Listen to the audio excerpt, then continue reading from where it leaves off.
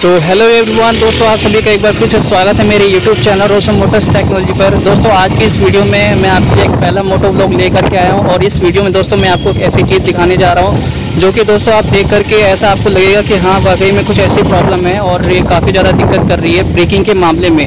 तो मैं आपको ऐसा दिखाऊँगा जैसा कि आप देख सकते हो कि इसका जो सरफेस है, जो मीटर का जो प्लेट है उस पर आप ध्यान दीजिएगा, मैं इसमें ब्रेक लगाऊँगा तो आप देखेंगे कि ऐसा क्या हो रहा है इसके अंदर में। तो देखिए, मैं इसमें ब्रेक लगा रहा हूँ राइट हैंड का मतलब जो जो राइट हैंड का जो ब्रेक होता है, मैं इस पर लगा रहा हूँ तो आप देख सकते हैं, काफ़ी ज़्यादा ये बबलिंग करेंगी, लेकिन मैं इसकी स्पीड को ऐसा बढ़ाऊँगा ताकि आपको पता चल सकेगा, क्योंकि स्लो स्पीड में दिक्कत करती है तो पता नहीं चलेगा तो मैं आपको स्पीड में दिखाऊँगा कि काफ़ी ज़्यादा आप देख सकते हैं स्पीड में बढ़ा रहा हूँ और अब देखते हैं ब्रेक लगाती हूँ थोड़ी देर में।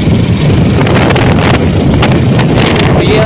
देख सकते हैं कितना ज़्यादा ये मतलब ये बबलिंग कर रही है, जैसे कि ऐसा लग रहा है कि मतलब इसमें ऐसा क्या हो गया कि ये काफ़ी ज़्यादा मतलब जो है बबलिंग कर रही है। आगे का जो है ब्रेक जो है वो मैं दिखा सकता हूँ आपको इस तरीके से। देख रहे हैं दोस्तों, ये काफ़ी ज़्यादा दिक्कत कर रही है। ये मेरे अब जो राइट हैंड है मेरा, उस पर भी आप देख सकते हैं काफ़ी ज़्यादा ये जो ब्रेक लीव मतलब ये काफ़ी ज़्यादा, इसकी वजह से काफ़ी ज़्यादा दिक्कत कर रही है। जब ऐसी कोई दिक्कत एक्सीडेंटली बाइक ऐसा कुछ हो जाता है या छोटा मोटा एक्सीडेंट हो जाता है तो मतलब ऐसा क्या प्रॉब्लम आता है जो हमारी बाइक काफ़ी ज़्यादा जंप करती है कि जो है राइट हैंड ब्रेक दबाने से?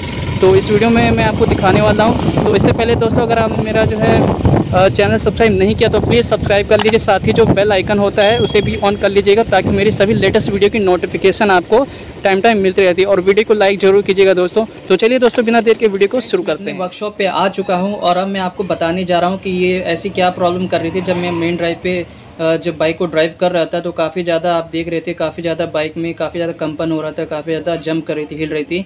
तो वो ऐसी प्रॉब्लम क्यों आ रही थी, वो मैं आपको इस वीडियो के अंदर बताने वाला हूँ। तो सबसे पहले मैं इसका पहिया घुमाता हूँ, गौरव पहिया घुमाना। कस के घुमाओ, पकड़ के। तो दोस्तों, जैसा कि आप देख पा रहे हो, काफ़ी ज़्यादा पहिया इसका जाम हो रहा है और कहीं कहीं हल्का हल्का फ्री भी हो रहा है। घुमाना पहिया, यहाँ पे। एक मिनट तो ये कहीं कहीं पे पहिया इतना जाम हो जा रहा है और कहीं कहीं पे पहिया ये फ्री हो जा रहा है। वो क्यों हो रहा है और मैं जो है आपको बताऊँगा। रुक जाओ, रुक ये जो प्लेट है, ये काफ़ी ज़्यादा ये कहीं कहीं से बैंड हो रखी है, जिसकी वजह से इस कैलिपर ये जो जिसके अंदर में डिस्क ब्रेक का पैड होता है, उसको ये डिस्टर्ब कर रही है ये प्लेट और ये एक्सीडेंटली किसी के भी साथ हो सकता है, ये बैंड हो जाती है, कहीं डिवाइडर से लग जाती है तो ये बैंड हो जाती है प्लेट तो आपको घबराने की ज़रूरत नहीं है। ये रिपेयर भी हो जाती है, आपकी मर्ज़ी, आप इसको चेंज भी करा सकते हो, कोई दिक्कत नहीं आती है। तो आपको मैं ये पहले सबसे, मेरा मेन मोटिव क्या है? जब भी आप बाइ, आपकी बाइक का जो ये बैंड हो जाता है तो आपको जल्द से जल्द इसको रिपेयर कराना है, क्योंकि अगर ये ब्रेक लगाने पे ये डिस्टर्ब करती है तो आपको काफ़ी ज़्यादा दिक्कत आती है कि अंदर में क्यों ऐसा मतलब ऐसा कई बार होता है कि आप मेन ड्राइव काफ़ी ज़्यादा हाईवे पे ड्राइव करते हो, जहाँ पे ब्रेक ब्रेक फ्री बाइकें चलती हैं आपकी तो इसके अंदर में हीटिंग काफ़ी ज़्यादा आती है, जिसकी वजह से आपके पहिया जो व्हील है, वो काफ़ी ज़्यादा जाम हो जाता है। तो ये आपको ध्यान में रखना है, जब भी आप ऐसी प्रॉब्लम आती है तो उसको आप ज़रूर से रिपेयर करा लीजिए, ताकि आपको फ्यूचर में कभी दिक्कत नहीं आती है।